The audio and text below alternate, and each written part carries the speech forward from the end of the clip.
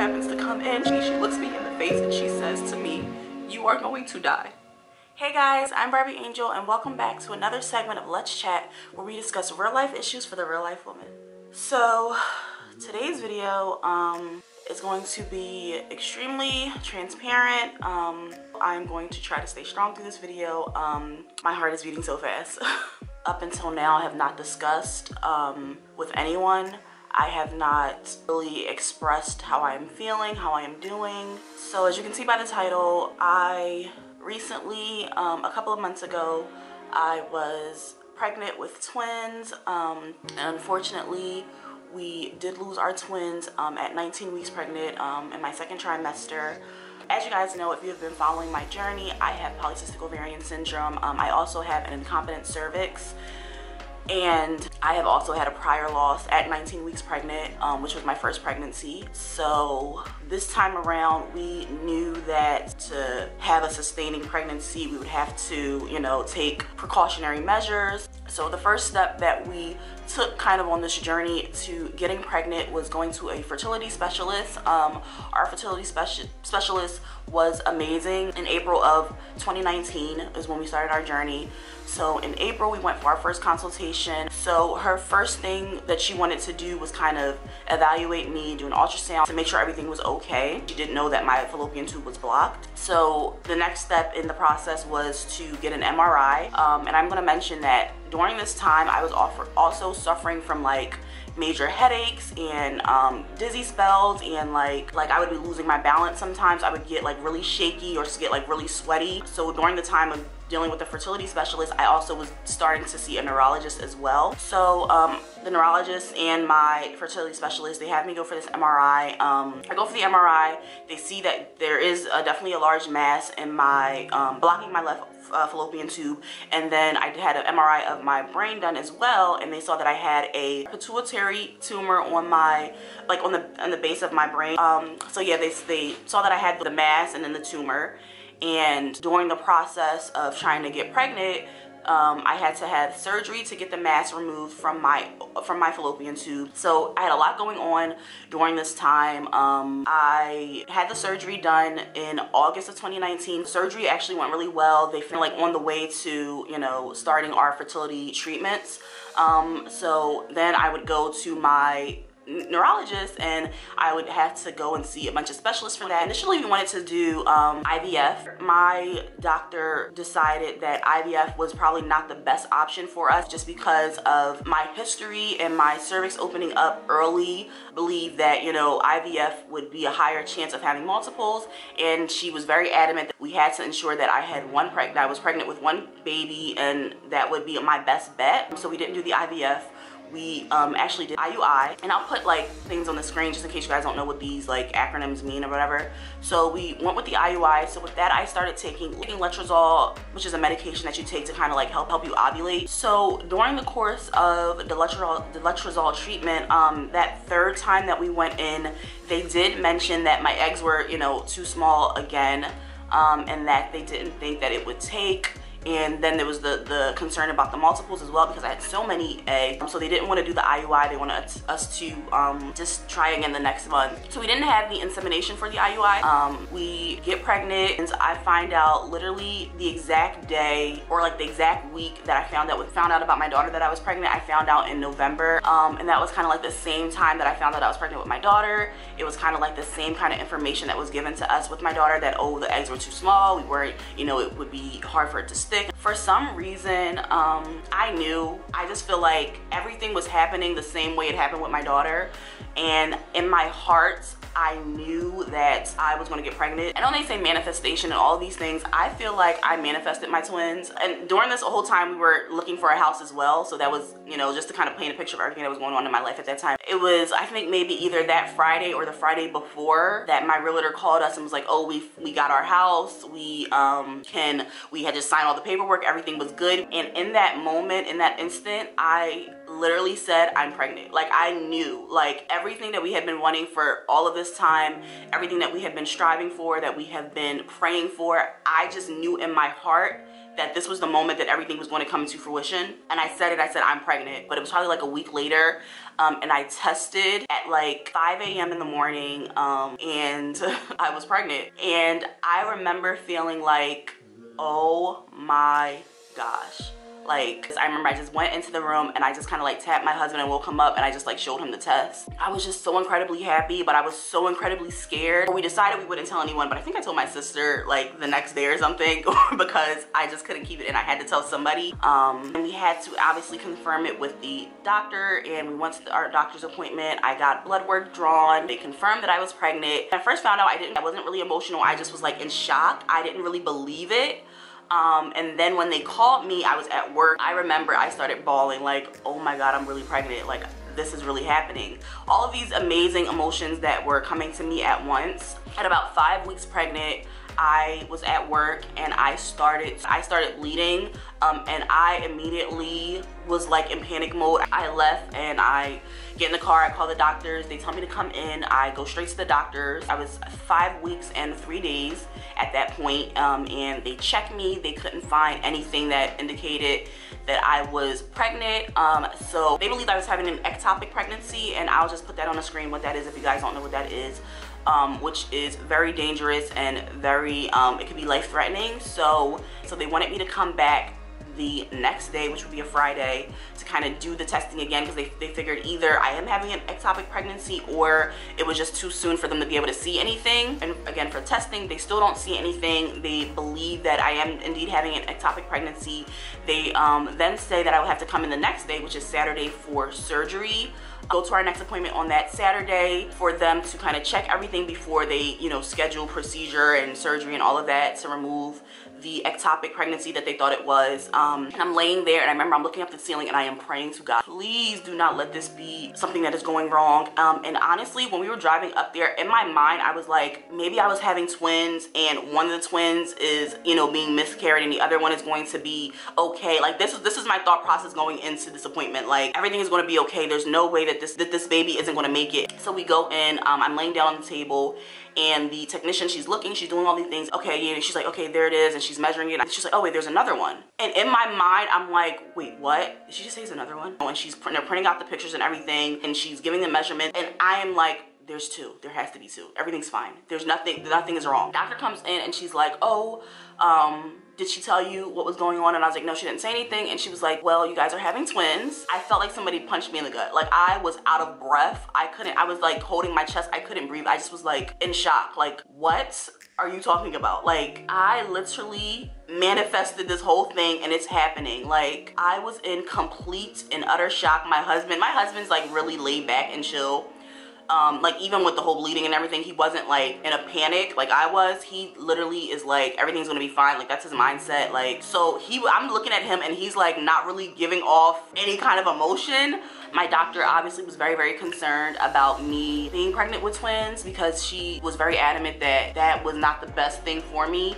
Um, but like I said, she was amazing. Straight up, she was like, you can't stay at this hospital because they will not do anything for you um, being as though you have this history and you are now pregnant with twins, they will not do anything to intervene to kind of help you make sure that you maintain these twins. She contacted another hospital um, that she knew were like the top for, you know, multiples and all of, and with my health issues and concerns that have handled those things and have delivered successful pregnancies.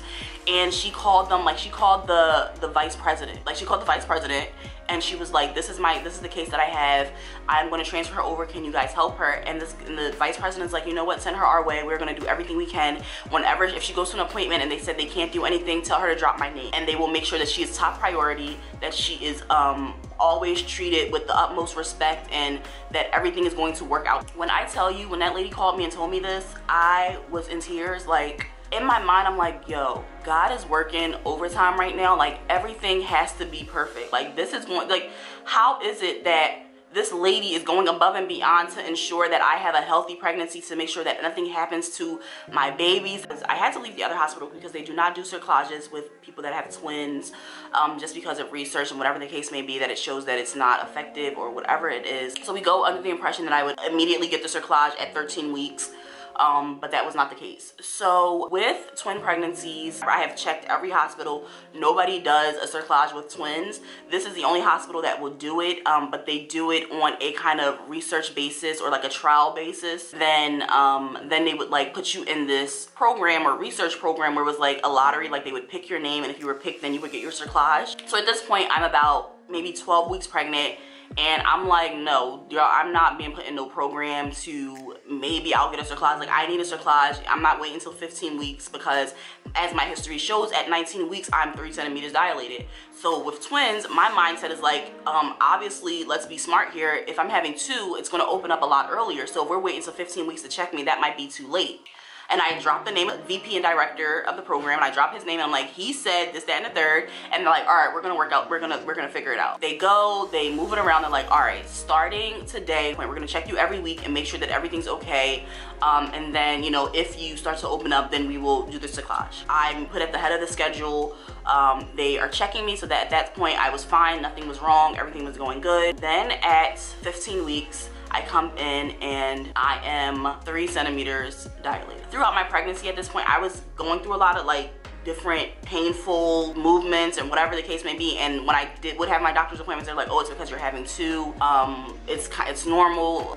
It was just it was painful. Like this pregnancy was extremely painful. I was like I feel like I couldn't move sometimes. Like I would have like so much back pain. I would have so much pain in my hips and my lower abdomen. Like it was always painful. So at this point in time we go in like I said for the 15 weeks and my cervix is completely open. Um she said it's open this um three centimeters. Uh really get the full amount because it was so painful to check um, it hurt so bad. So they rushed me to the hospital um, and they give us the options, of course. You can terminate or you can do the cerclage. Not 100% because of how open you are and all of these, all of this other stuff. And I'm like, you know what, we're gonna do, do the cerclage. We knew we were gonna need the cerclage. Um, stay overnight next day we go in for the procedure. I have my um, i go into the operating room. So they do the procedure and after that he comes up and he tells me he's like we did the best that we could.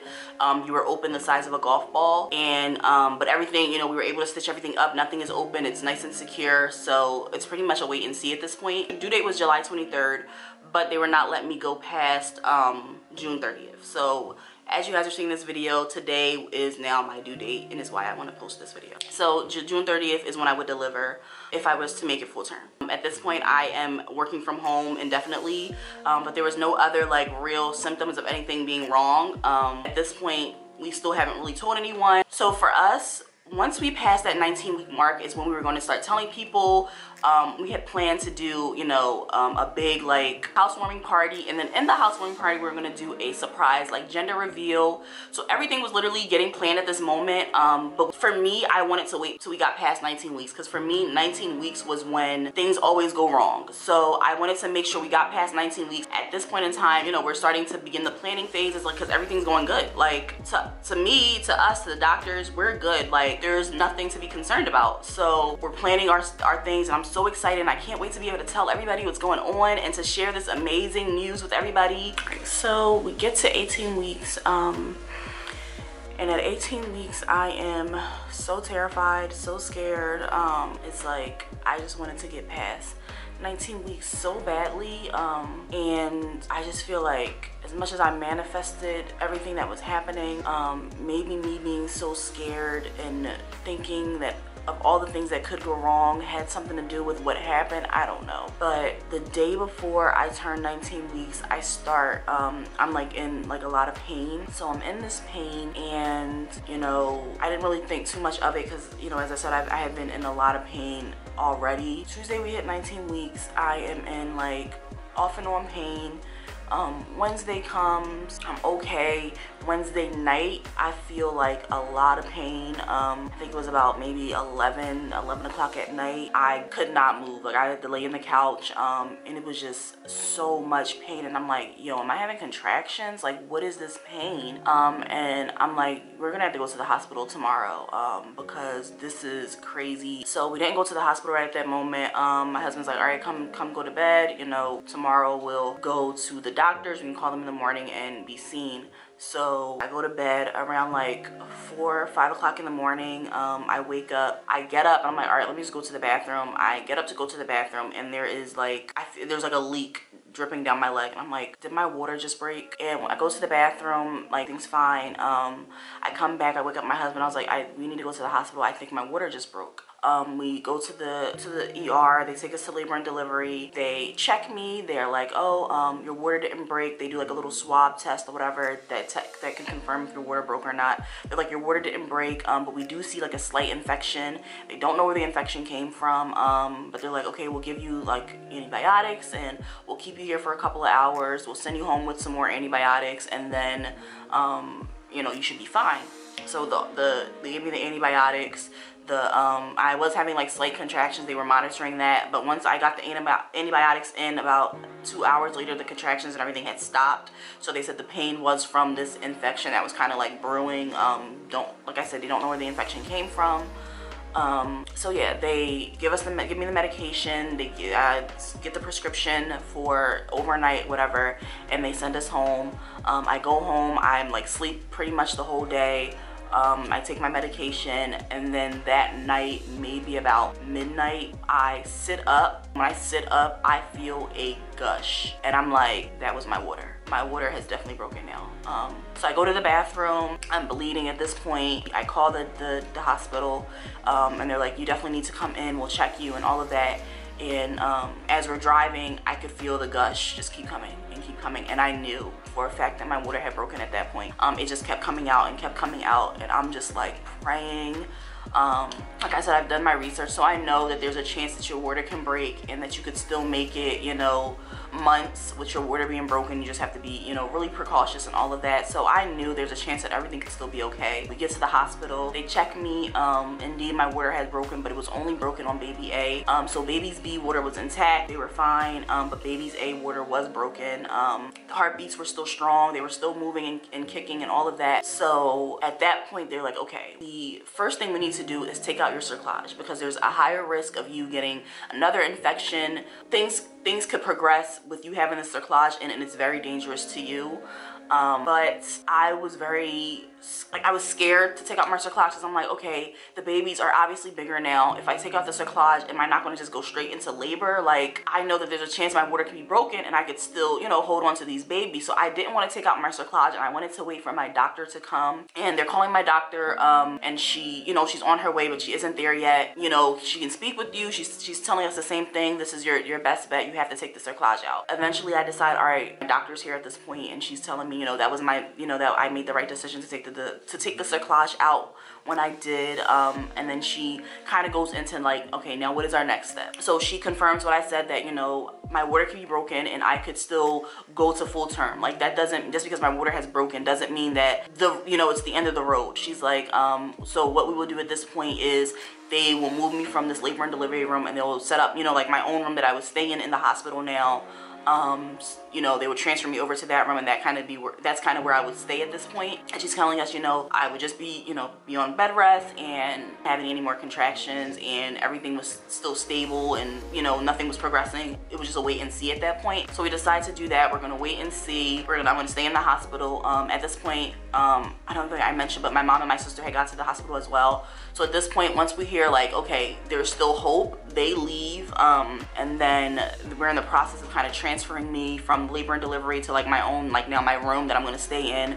And they're like, okay, the my nurse comes in, she's like, oh, you know, your doctor just wants us to run some blood tests and blood work and put all your blood work in and things like that. And then um, they're in the process of getting you your room. So you'll be moving over, you're, you're about to move to your room shortly. So they do, they run all the blood work and all of that. And then she, they come in, my doctor comes in and and another two other doctors come in and they're like you have the infection has now traveled to your bloodstream um, and now we're in critical condition. Now we're in um, like the scary stage and they're like um, the infection has tra traveled to your blood. Your temperatures are still fine but once you get to like uh, your temperature reaches like 110 I think it was um, is when we know that we are like really really in critical condition and you could possibly lose your life. Um, so right now we can confirm that the your blood work shows that the infection is in your bloodstream. It can travel to your heart. It can travel to your brain Um, and at that point, there's nothing we can do. You're going to lose your life. So at this point, they're telling me my, my only option now is to induce labor and have my babies, and my babies are not going to make it because they're only 19 weeks. I lose it. I am screaming. I am crying. I'm like, I can't do this again. Please do not make me do this. How? Like, God, why are you doing this to me?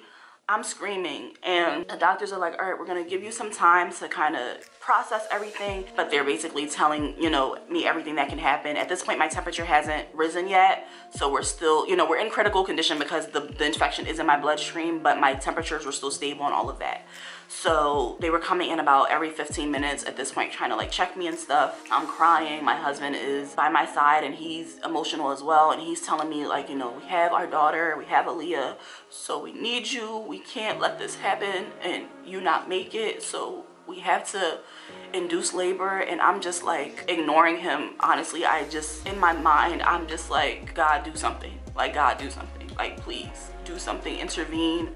And you know, he, he calls my mom and my sister and they're on their way back and um, I couldn't believe what was going on. And I was just praying like, there has to be something. Like, God, where are you? Like, what are you doing? There has to be something. This can't be it. So the doctor, the nurse comes back in, she checks my temperature. I think my temperature was like 106 at that point. Um, and it just kept rising. My temperature just kept rising. Um, and at that point, I was starting to feel different. Like I was starting to feel like lightheaded. I was starting to feel very weak. And in my mind I felt myself slipping away. Um I didn't tell my husband. I don't I don't think up until this point I haven't told anyone this but I felt myself starting to slip away. And I think the only thing that made me give up I would say and decide to induce labor was because of my daughter because she is the only thing. She is the only thing that keeps me going and I'm like, she needs me and I decided to induce labor. Um, my doctor just happens to come in. She sits down next to me. She looks me in the face and she says to me, you are going to die. If you do not induce labor right now, you are not going to make it. Um, she said there are two options. We can give you a pill and you will, um, you'll, we'll give you a pill and it'll induce your labor that way and you can deliver naturally. You'll be able to hold your babies. You'll be able to look at them and or we can take you straight into surgery. Um, we'll put you to sleep but you won't be able to see them. And i knew i had to see my babies. I knew i had to see them. I but you know obviously there was a risk with that because inducing labor um, is not a quick thing it, it's all dependent on your body.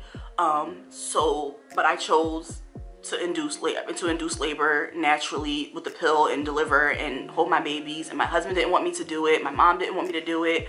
Um, but I had to see my I had to see my, my children. Um, so they give me the pill. My temperature now is at the 110 or whatever. And I I literally feel loopy. I feel so like I feel like I'm not gonna make it. And I hear my I hear my doctor saying to my mom um, that I'm probably gonna have to go into the ICU. There's a very good chance that I still won't make it. And I hear them all crying and all of these things. And we induced the labor. Um, at this point, my, my stepdad is there, my dad is there, my stepmom is there. They're all with me in the room um, as I'm like going through the contractions and everything. Um, and it's time to it's time to, to push out my babies. And I think right at the time where um, I started to push, my cousin comes in, my maid of honor that I told you guys about. She comes in um, and she's holding. She comes in right at the right moment. I don't even know how how they let her in or whatever. She comes in, she's holding my hand and I'm delivering my babies and I deliver my baby boy first. He was baby A. I deliver my baby boy. I look at him and he is beautiful. Oh my God. And when they tell me it's a boy, I am, I start crying hysterically because I just want to give my husband a baby boy. I want a son. My daughter has wanted a little brother for the longest. And this is the second time we're losing our son. And I'm just like, what? And I'm crying and I'm screaming and I'm holding him and I'm looking at him and he's so perfect. Everything is formed. Like it was just, I'm holding him in my hands and then I deliver my baby girl and she looks exactly like my daughter. She's moving in my arms and I'm and I can't even and I and I just remember screaming and crying. And I remember when they wanted to take them away from me I just couldn't let go. Like I just needed to hold them. I just wanted them with me. And I'm apologizing to them and telling them that I am so sorry because uh, obviously this is my fault that this has happened. And um remember just feeling so defeated um, and then it comes to the point where my placenta is stuck. Both of my placentas are stuck. Um, my twins were both in individual sacs. They both had their, their own um, placentas, but they are both stuck and they can't get them out. And I am starting to hemorrhage. Um, I am bleeding so much and they're like, we have to rush you into surgery um, because we can't get your placenta out. And we're now in do or die. We get to the operating room, they rush me over, I'm in the operating room, um, and they put like the mask on me for like oxygen, and I'm like, oh, and I'm claustrophobic, so I start freaking out. I'm like, oh, can we please not put this on me yet? They're like, okay, we'll, we'll move it. They just have it like hanging on my chin, and they're like, um, we won't put it on until we're ready to, to, to, to start the procedure. And I hear the doctors or the nurses and the anesthesiologist talking and there's something wrong with the computer or there's something wrong with something and they're like oh this isn't right something's wrong what do we do and i'm freaking out like they're they don't know what's going on with whatever i don't know what exactly was the issue but i think it was the computer or something was wrong and my doctor starts screaming like we don't have time for this F this F the the screen or whatever the hell, hell was wrong. She's like, F it, we have to do this right now or she's not gonna make it. Um the machine started to beep and I don't know if it was my oxygen or what it was, but some like something was going on and my doctor is literally screaming at everybody like we have to start this now. Like we like we have to go right now. There's there's no more time to waste. Um and they come back to put the mask on me and I'm freaking out. And, and, they have my arms like tied down. So I can't move my arms but I'm moving my head. I'm screaming. I'm like no I'm going to and in my heart I felt like I was gonna die. Like I felt like that was the end. Um, I felt like I was gonna die. I started screaming. I'm freaking out. I'm like please no. I have a daughter. I I don't want to die. And my doctor comes over and she's looking at me and she says you have to calm down. I am not going to let anything happen to you, but we have to operate right now. You are losing so much blood. And they literally forced the mask on me and they're holding me down. And obviously before I know it, I'm out. Um, when I wake back up, I am in back in the room that I delivered in. Um, I think at that point it was probably only my husband there. I think my family had left, my cousin had left. It was just the hardest thing to have to go through again. I still am not okay. Like I said, this is the first time that I am even telling my story. This is the first time I'm even like expressing anything about this whole event. I couldn't talk to my sister or my mom. Like I would talk to my sister, like me and my sister would talk like every single day for like hours at a time. It took me weeks to be able to, to call her, to be able to talk to her on the phone. Like she would call me and text me and I would just ignore it just be I couldn't talk to her I couldn't talk to my mom I couldn't talk to my husband. I couldn't look my husband in the face for about three weeks I feel like. I couldn't look him in the eye. My one cousin that I mentioned I couldn't speak to her. Like she would call me and text me. I would I was ignoring everybody's phone calls but especially them these people that I talk to all the time every day. I couldn't talk to them. I felt like I let everybody down especially my husband I felt like I let everybody down. Everybody, everybody was so excited for this. Everybody was so excited for this and they were so happy and they were praying and because of me, nothing happened the way it was supposed to. It is all my fault. Um, to this day, I still can't talk to my husband about it because I feel like, and I'm just, I just feel so bad that I keep taking this away from him. Having to tell our daughter that we lost the babies was so hard for me. Oh my gosh, like I don't even think she really understood because we told her and you know she cried and then like later on in the night she came over to me and she said something about like oh um I think she asked me something about I said yeah it's a girl and a boy and she said um oh so when can they like come now and I was like, they're not coming anymore. Like they're gone, they're in heaven. And she started crying again. And I don't think it didn't hit her until that moment that she wasn't gonna have her brother and her sister. Um, and she just was like, all I want is a little brother and why is it not happening? And she was crying and I was just so emotional and I just felt like I let everybody down. Um, I think I have, YouTube has saved me honestly um i have kind of immersed myself into my youtube. I have immersed myself into like some other things that i'm working on just to kind of not focus on my main pain or what i'm going through or what i'm feeling. Um i don't think i'm going to ever be okay. My husband actually asked me the other day he was like are you happy? And I told him I don't think I'll ever be happy again because I was so happy. For the first time in my life, I felt genuinely 100% happy. We were married. We had bought our dream home. I was pregnant with twins. Um, my daughter, straight A student, she's doing amazing. I had my career. Everything that I had dreamed of was happening. Um, like I was genuinely 100% happy and out of nowhere that was all taken from me. And I don't feel like I can ever let myself feel that happy again. Of course, I love my baby girl. She is my life. She is my world. I love my husband to death. He is my rock. Um, my mother, my sister, my parents, like everybody's amazing. Um, I have amazing friends. Um, I feel like, but I'm never gonna have the joy. I'm never gonna have the experience of having my two babies um, I wanted five kids and then being diagnosed with PCOS, I knew that that was probably nearly impossible. Um, so for us, even having the one was a miracle. So thinking that maybe we could have two, that was even more of like a blessing. But to find out that we were having twins and this could have been our last pregnancy and we could have had our three children and been done, I will never get to have that again.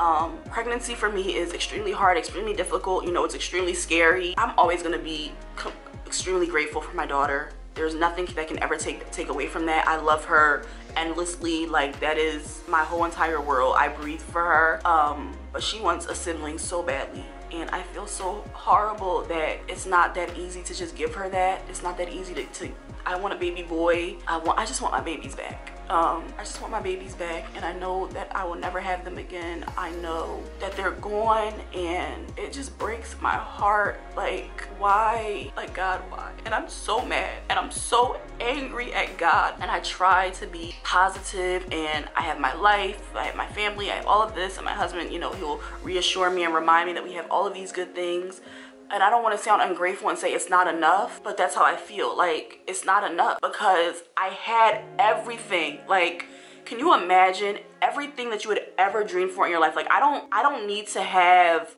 bags and shoes and all of these crazy things like of course my house is i have a my dream house but for me being um financially secure having my family and all like those were my dreams like I always wanted to have, and I always wanted to have twins and all like I had everything that I had ever wanted in the palm of my hands. Like it was I had it.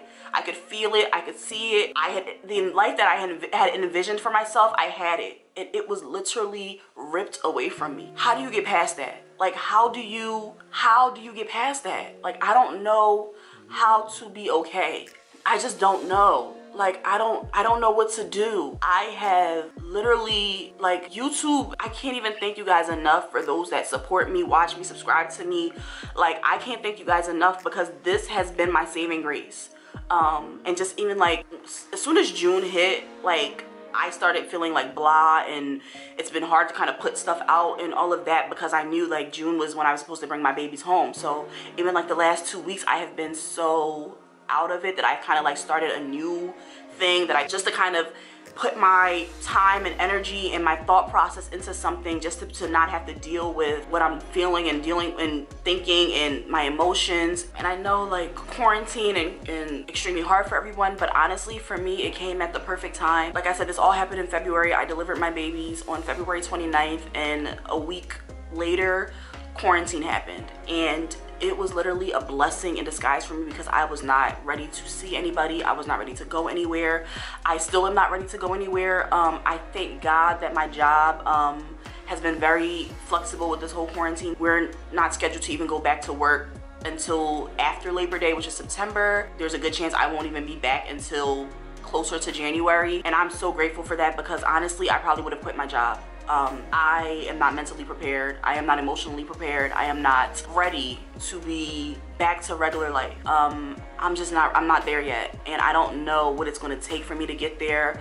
I don't know what time has to pass. Um, I might jump on camera and I'm smiling and I'm bubbly. This is how I'm feeling, this is how I'm doing. Um, and another thing I didn't mention was that through this whole, you know, process, there was tumors that were found on my cervix that they thought I had cancer and I had to get like biopsies and all of these things done, you know, and it's just, I've been dealing with a lot. Um, and then I still, you know, once outside opens, I have to go back to dealing with my MRI for my brain and all of that to kind of make sure that that tumor isn't growing or that it's not causing anything or all of these things that I still have to deal with. And I'm just not ready. I'm not ready to be back to regular stuff, going out and things like that. Like I have been concerned and very strict with seeing people or being around anybody that's been out and doing all this stuff, um, especially because of me have gotten having this infection and I don't, I haven't really had a checkup since all of this has happened to make sure that my immune system is good and all of that. We don't know where the infection came from. We just know that I developed a maternal sepsis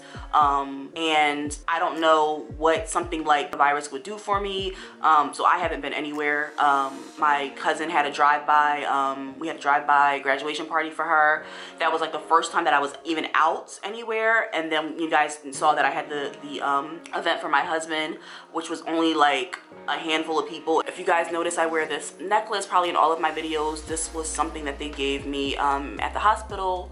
Um, I don't know if you guys can see it, but it has two um, like little baby footprints and they gave me these two um they're like gold wedding band looking things so i just ordered this necklace and it has a heart on it um and it has a little angel wing and it has my baby's birthstone on it which is like purple um, I also got this ring here in the middle of my wedding band and my engagement ring that is their birthstone as well. Um, I'm just trying to like find a way to kind of push through. Um, their room is still untouched. I don't even like my daughter going in there. I still have not been able to have like a full conversation with my husband about everything. I just feel like I'm not mentally there yet. Um, so him seeing this with all of you will be the first time he even sees how I'm feeling. Um, as far as in the same for my sister and my mom. But um, I know this video is probably extremely long at this point. I needed to share what I have been dealing with, what I have been going through. And it's real. It's real life. Like I didn't want to come on here and be so fluffy. I just wanted to be really real and share some of the things that we go through in life. Um, as always, I thank you guys so, so, so much for watching. I appreciate you guys. You don't even understand, thing, honestly, to have support from so many people. Um, and yeah, I will see you guys in the next one. I thank you guys so, so, so much for watching.